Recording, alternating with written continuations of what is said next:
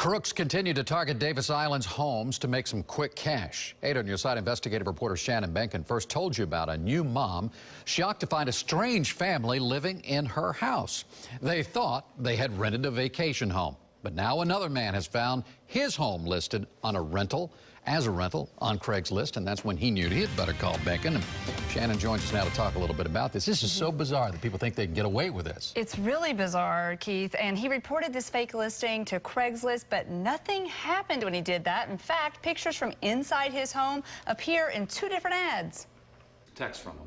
Imagine Dan Schlater's shock when he saw me on TV knocking on his front door to warn him that his house is listed for rent on Craigslist. He's probably doing this statewide, nationwide. Dan is the latest victim of a scheme targeting several Tampa Bay area neighborhoods, including Davis Islands. Crooks list houses they don't own as vacation rentals. Dan's house was listed twice for 200 bucks a night. It's kind of strange that somebody would have the audacity to, to do that. And there are definitely legit ones. Leslie Thornton called me when a family walked right into her living room with suitcases.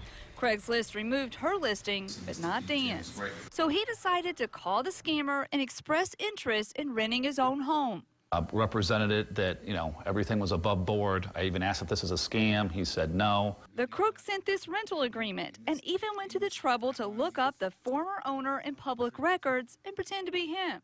When Dan called back, I was by his side. You can't talk, you can only do it through text.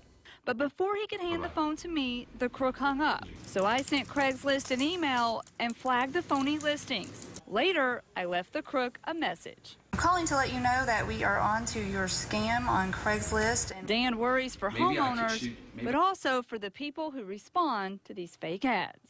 They're putting a lot of their funds in this for a vacation, and they're going to show up. They're getting scammed. This guy's making money. He's using my property. You know, he's baiting and switching them. It's just, it's wrong.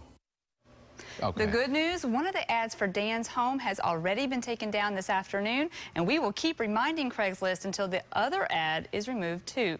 I'm Shannon Behnken, 8 on your side.